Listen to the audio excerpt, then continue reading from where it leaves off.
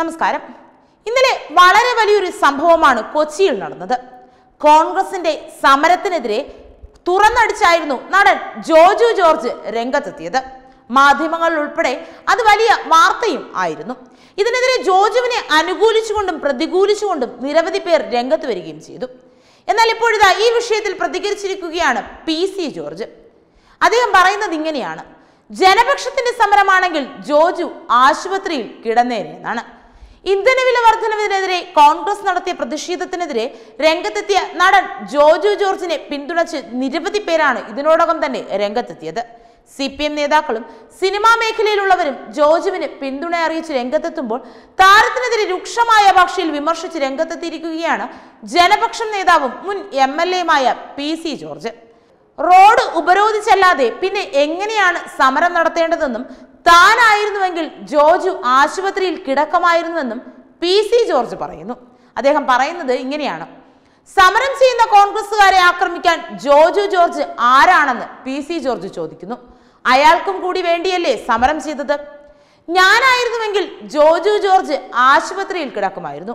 അയാളെ കണ്ടാൽ കള്ളുകുടിയനെ പോലെയാണ് ഇരിക്കുന്നത്. അയാൾ അവിടെ എത്തിയത് ഓട്ടോറിക്ഷയിലാണെന്ന വാദം തെറ്റാണ്. അങ്ങനെയെങ്കിൽ ഞാൻ അദ്ദേഹത്തോടൊപ്പം നിൽക്കുമായിരുന്നു.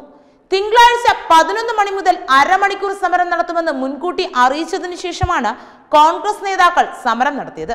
ഈ സമരം നടക്കുന്ന സമയത്ത് ജോർജ് എന്തിനാണ് അവിടെ പോയതെന്നും പി സി ജോർജ് ചോദിക്കുന്നു.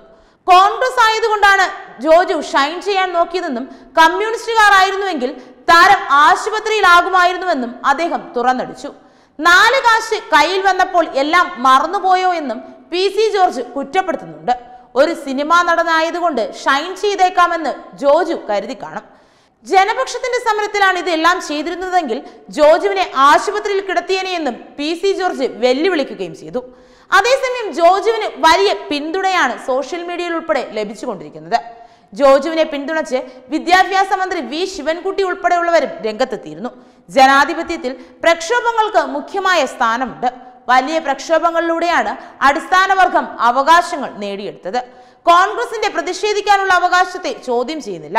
എന്നാൽ അതിനെ ജനാധിപത്യപരമായി ചോദ്യം ചെയ്ത സിനിമാ താരം ജോജു ജോർജിനെതിരെ അവർ കൈക്കൊണ്ട നിലപാട് ഒരു സ്വതന്ത്ര രാഷ്ട്രീയ കക്ഷിക്ക് ചേർന്നതല്ല എന്നും മന്ത്രി പറഞ്ഞു.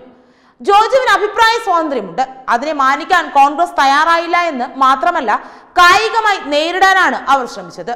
ജോജുവിന്റെ കാറിനും കേടുവരുത്തി. ജോർജ് മദ്യപിച്ചിട്ടുണ്ട് എന്നടക്കമുള്ള നുണകൾ ഉന്നയിക്കാനും കോൺഗ്രസ് തയ്യാറായി. ഗുണ്ട എന്നാണ് കെ പി സി സി അധ്യക്ഷൻ ജോർജ് ജോർജിനെ വിശേഷിപ്പിച്ചത്.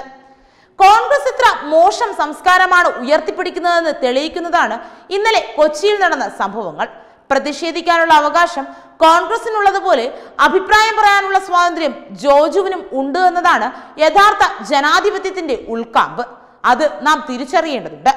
Web desk Tatwamayi news.